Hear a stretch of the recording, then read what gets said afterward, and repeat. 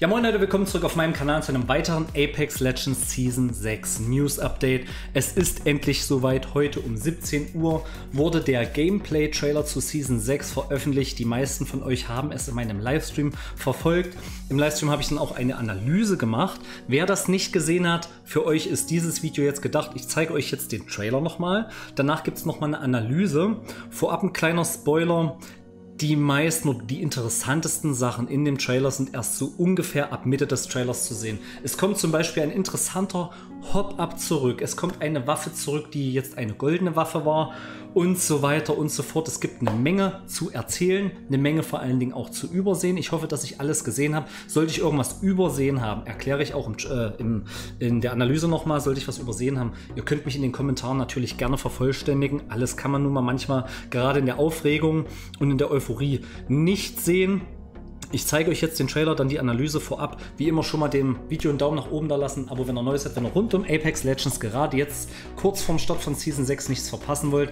Nächste Woche zum Start gibt es natürlich wieder äh, ein Patch Note Video, ein Rampart Guide und so weiter. Und nochmal gerne den Shoutout an ca. 38%, die regelmäßig einschalten, nicht abonniert haben. Wir stehen kurz vor den 9000 und ich könnte mir vorstellen, in Season 6 noch die 10k zu erreichen. Und danke an alle, die mich bis hierhin supportet haben. Ich würde mich freuen, äh, wenn ihr weiter dran bleibt. Das war es jetzt von mir. Viel Spaß bei dem Trailer und dann bei der Analyse. Grab your mash. Ramparts in down. It's not about how hard you fall. It's not even about getting back up. Legend's just a name. Legacy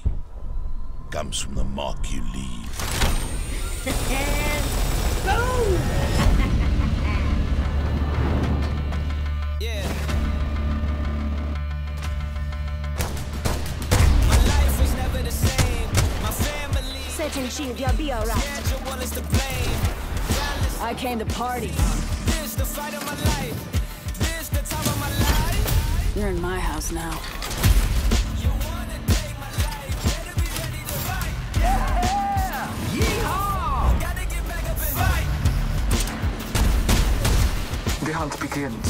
Jungle, I'm ready to rumble. I look in the mirror, I see my opponent up on the ropes, uppercut taking blow, closing shutouts is swollen. They struggle to open. Conscience is spoken. I know that I'm chosen. The fight is not over. Join me in the shadows. Materials here. Very well. Remarkable.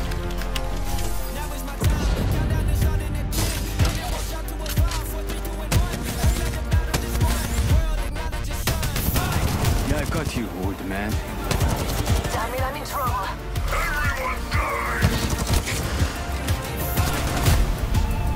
It's party time.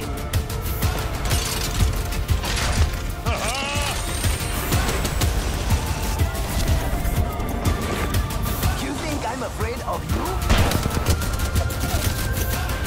Sorry, not sorry.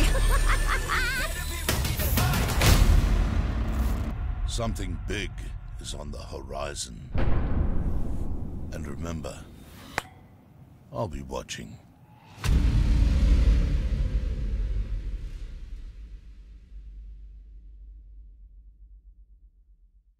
Legen wir mit der Analyse los.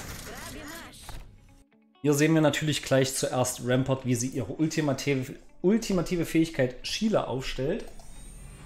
Ramparts in down. Und die Feuerrate ist der absolute Wahnsinn. Ich bin echt gespannt, wie viel Munition dieses Ding nachher haben wird und wie hoch die Lade Nachladegeschwindigkeit ist oder wie lange es dauert, dieses Magazin nachzuladen. Wie die Kugeln im Hintergrund fliegen. Die Stimme im Hintergrund ist übrigens Blisk, der Veranstalter der Apex Games. Den haben wir auch in dem Outland-Trailer oder Stories von die Outland-Trailer ähm, letztens bei, also in dem Rampart-Trailer gesehen. Der Veranstalter, wie gesagt, und ein hohes Tier aus dem Titanfall-Universum. wie die Kugeln hier rausfliegen, ist absolut unfassbar.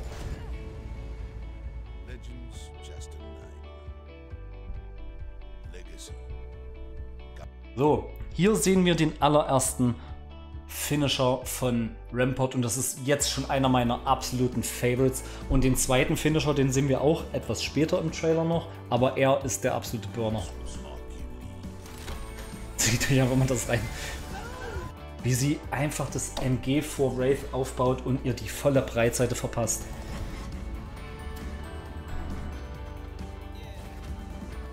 Hier haben wir wahrscheinlich der Level 100 Battle Pass oder der Level 110, das werden wir sehen, aber ich würde sagen, das ist der Level 100 Battle Pass Skin, der G7.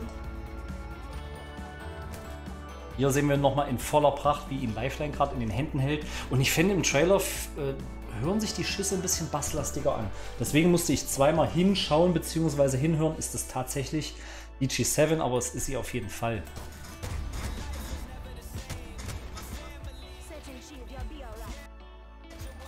Übrigens sehen wir hier im Hintergrund, äh, links ist das Zugdepot und hier hinten rechts ist quasi umgebaut die Bohrstelle.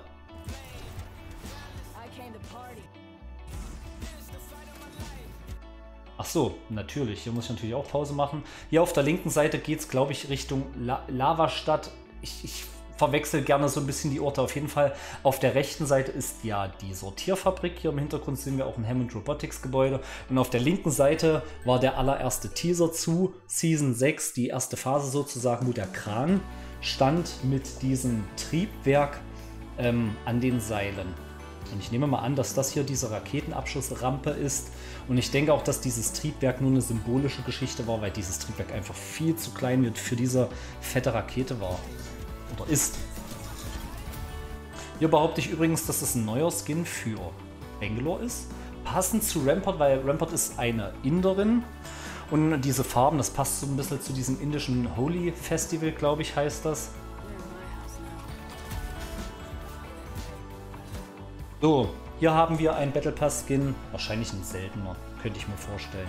In grün, nagelt mich jetzt nicht fest, ich bin manchmal ein bisschen äh, schusselig, was die Waffenerkennung betrifft, aber ich würde sagen, das ist die Triple Take.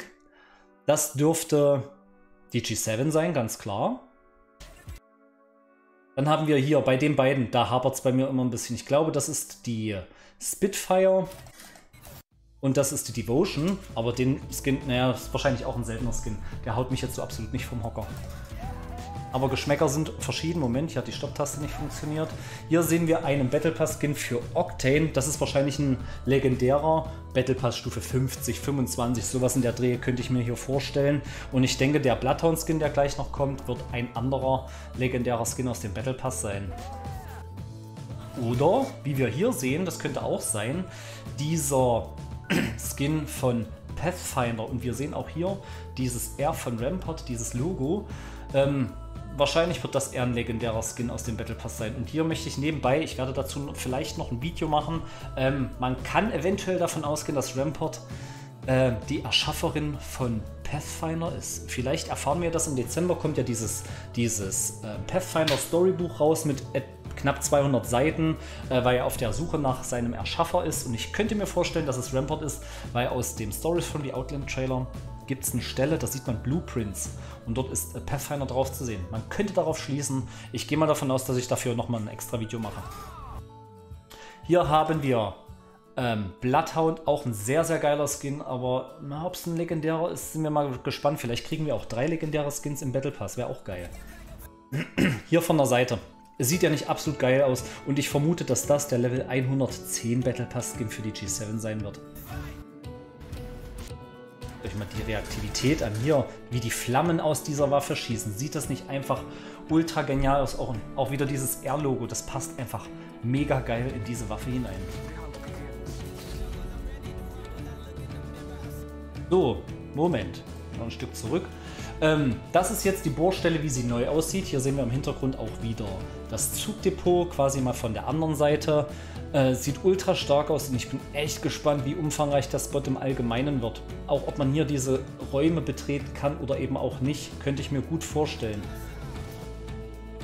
So, das ist glaube ich die andere Seite von der, von vom Harvester könnte ich mir vorstellen. Hundertprozentig sicher bin ich mir hier jetzt nicht, aber ich glaube, das ist der Durchgang nach hier hinten und hier ist der Harvester. Dieses Gebäude ist auf jeden Fall auch neu. Sollte ich hier etwas falsch liegen mit den Orten, da habe ich es manchmal nicht so.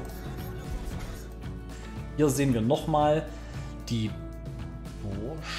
Bohrstelle. Es sieht aus wie die Bohrstelle. Ich glaube, dass es ja auch die Bohrstelle ist. Aber nee, Moment. Nee, das ist definitiv nicht die Bohrstelle. Hier hinten diese Brücke, das ist irgendeine andere Stelle. Aber wie gesagt, es könnte sein, dass ich hier ein bisschen falsch liege. Auf jeden Fall auch ein Riesenspot. Viele große Kräne. Ähm, mal sehen, was hier passiert. Ich bin gespannt, ob die, die Kräne könnten sich bewegen. Das würde ich ganz geil finden, wenn man quasi hier in diesen kleinen Dingern drinne hängt, wie es auch beim Zugdepot der Fall ist, dass die sich vielleicht bewegen mit irgendeinem Schalter oder so. Würde ich ganz, ganz cool finden. Hier übrigens gerade so eine Art Barrikade, die sich aufstellt. Und es ist definitiv nicht die Barrikade, quasi die passiv, nee, die taktische Fähigkeit von Rampart. Sie fällt mir ja gerade auf, hier so absolut die Kratzspuren dafür, dass hier das Teil immer aufgebaut wird. Kann man wahrscheinlich mit dem Knopfdruck eine Barrikade äh, aufstellen, um so Schutz vor dem Gegner zu haben. Könnte ich mir fest vorstellen. So, gibt es hier noch irgendwas im Hinter Hintergrund zu sehen, was ich vielleicht übersehe? Hier haben wir nochmal den Pathfinder mit seinem Skin von hinten. Jetzt wird das Crafting ähm, vorgestellt. Das finde ich eine sehr, sehr interessante Geschichte, denn wir sehen hier gleich, dass einiges zurückkommt, was rausgepatcht wurde. So sieht das Teil aus. Wenn wir hier rangehen, brauchen wir wahrscheinlich eine gewisse Menge an Crafting-Material. Und dann können wir das aktivieren. Wie das aussieht, ob wir Crafting-Material irgendwo auf der Map erstmal finden können, ob wir das vielleicht durch Kills bekommen oder Assists, das äh, bleibt noch fraglich. Jedenfalls wird das jetzt geöffnet. Und jetzt sehen wir, wie das Ingame aussieht. Und das ist nämlich eine ganz, ganz interessante Geschichte. Und tatsächlich, vorhin in meiner Live-Analyse im, äh, im, im, Livestream dachte ich, das ist ein, ein erweitertes Magazin für die äh, Sniper. Aber es ist nicht der Fall. Wir sehen hier auf jeden Fall, dass die Devotion definitiv keine goldene Airdrop-Waffe mehr ist. Das heißt, irgendeine andere Waffe tauscht den Platz mit ihr. Ob das jetzt die 99 vielleicht wird oder eine völlig andere Waffe, keine Ahnung. Es gibt aber finde ich bei den ganzen Waffen, die aktuell am Start sind, keine Waffe, wo ich sage, die hat es verdient oder die müsste eine goldene Waffe werden, außer die 99, weil sie zu heftig ist. Vielleicht ist es ja die neue Waffe, die Volt SMG. Ich hoffe aber ehrlich gesagt, dass die Volt eine Standardwaffe ist, damit man sie auch häufiger findet und Spaß an der neuen Waffe hat. Dann haben wir, wie gesagt, hier die erweiterten Magazine für die ähm, Elektrogewehre, nicht die Elektrogewehre, für die Energiewaffen natürlich. Ein lila Mech kann man sich hier craften. Dann, und das fand ich schon krass, der Turbolader kommt zurück. Ich gehe aber fest davon aus, dass man den Turbolader nicht als Standard-Loot auf der Map findet, sondern den kann man sich wahrscheinlich wirklich nur an diesem Crafting-Table oder an dieser Crafting-Station ähm, craften. Ähm, was auch noch sehr interessant ist, wir haben hier einmal den Begriff Daily permanent, Weapon Fit, was auch immer das bedeutet, permanent und weekly. Ich könnte mir vorstellen, dass man wahrscheinlich nur einmal in der Woche sich zum Beispiel ähm, dieses lila Knockdown-Schild craften kann und sowas wie die Devotion kann man sich einmal am Tag und das Evo-Shield kann man sich permanent quasi in jeder Runde neu craften. Das ist zumindest meine Vermutung und könnte vielleicht auch erklären, warum äh, wir hier verschiedene ähm, Crafting-Stufen haben. Einmal 35 Crafting-Material, hier wöchentlich 50, hier brauchst du einfach ein bisschen mehr.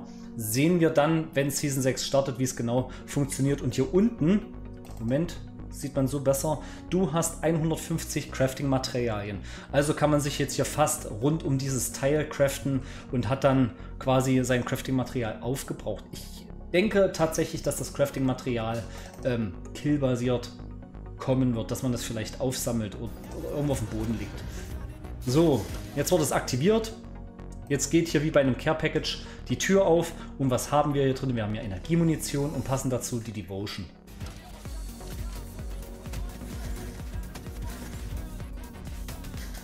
Die Volt SMG. Hier ist sie perfekt pausiert. Die neue ähm, SMG wie die R99 Blut, dass es eine Energiewaffe sein wird. Wie gesagt, es ist aktuell aber noch unklar, ist es eine Standardwaffe äh, oder wird es eine Care-Package-Waffe? Ich bin wirklich sehr, sehr gespannt. Sie sieht auf jeden Fall ultra geil aus und wie ich gehört habe aus Titanfall eine extrem oder eine der stärksten Waffen überhaupt, weil der Rückstoß fast gar nicht zu spüren ist und sie wohl keine Travel-Time hat. Also die Bullets haben keine Travel-Time. Die Kugeln sollen wohl angeblich sofort beim Gegner landen, wenn du den Abzug betätigt hast. Da bin ich auch sehr gespannt.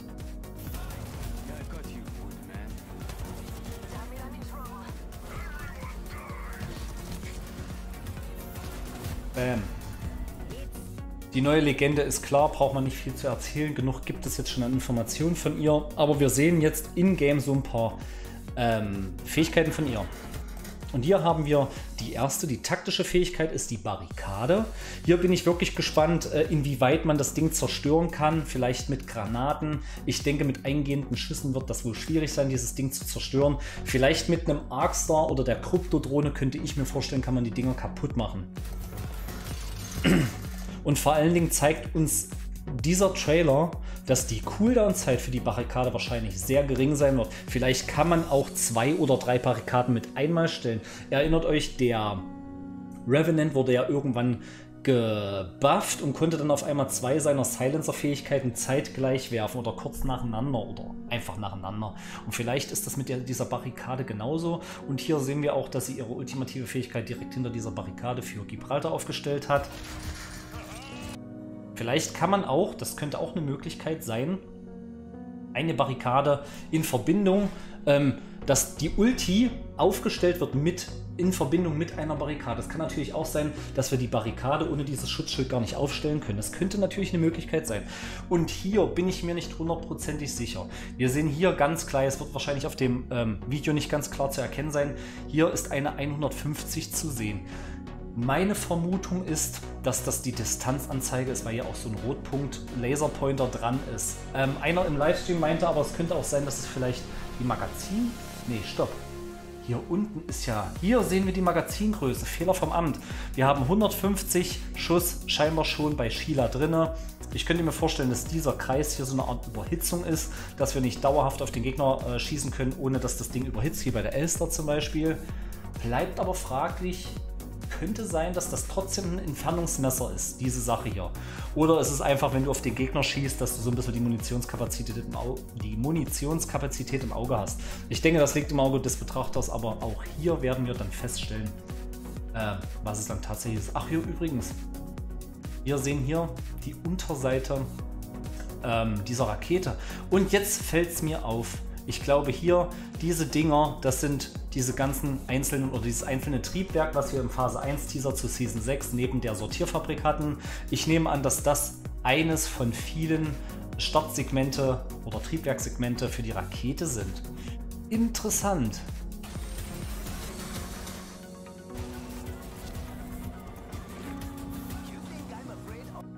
So, hier sehen wir zum Beispiel und das ist auch sehr interessant. Wir sehen hier die drei Barrikaden und die mittlere Barrikade, da fehlt das Schutzschild.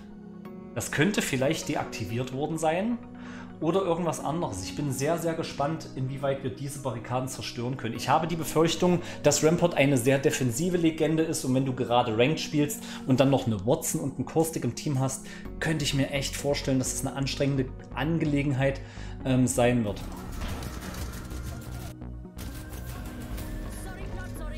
Und das dürfte der zweite Finisher von Rampart sein. Ähm, Apex Legends Season 6 Boosted. So, und jetzt hören wir Blisk nochmal und er hat gerade gesagt, Moment, ich mach nochmal zurück. Also nicht weit genug.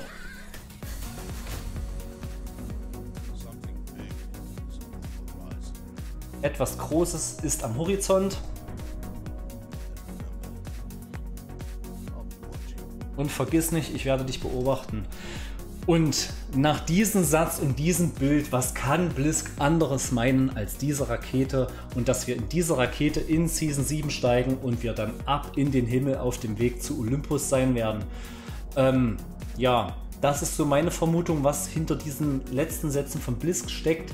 Ähm, vielleicht kriegen wir ja schon in Split 2 unser Willen und kriegen die neue Map. Ich glaube aber eher nicht. Ich denke, dass in 7, Season 7 Start von Olympus sein wird. Und ich bin auch überhaupt gar nicht böse, dass die neue Map jetzt noch nicht kommt. Ich möchte einfach sicher sein, wenn die Map kommt, dann nicht, weil unter der Hektik und die Community unbedingt sich diese Map wünscht, sondern geben wir doch einfach Respawn die Zeit, die sie brauchen, um die Map vernünftig zu basteln. Sie wird wahrscheinlich schon lange fertig sein, aber ich denke, dass sie in der Corona-Krise viele Fehler noch ausmerzen müssen. Und nichts wäre fataler, als jetzt in der Hektik in Season 6 eine neue Map rauszuhauen und sie wäre dann scheiße, weil lauter Fehler, Bugs, Glitches oder sonst irgendwas in diesem Spiel sind. Und das wollen wir, denke ich, alle nicht. Deswegen lieber drei Monate Geduld. Und ja, das war's soweit. Das war meine, ich hoffe, nicht zu lange Analyse. Ähm, ich möchte nochmal betonen, sollte ich was übersehen haben, vervollständigt es gerne in den Kommentaren, würde ich mich sehr drüber freuen. Ähm, lasst mich allgemein in den Kommentaren wissen, was ihr von dem Trailer haltet. Auf jeden Fall macht der Trailer Bock auf mehr. Ich bin sehr, sehr gespannt, was wir dann tatsächlich alles in Season 6 erleben werden. Das soll es von mir jetzt gewesen sein. Wie immer, dem Video einen Daumen nach oben da lassen, Abo, wenn ihr neu seid, wenn ihr rund um Apex Legends nichts verpassen wollt. Das war es jetzt von mir. Ich wünsche euch ein schönes Wochenende. Bis zum nächsten Mal.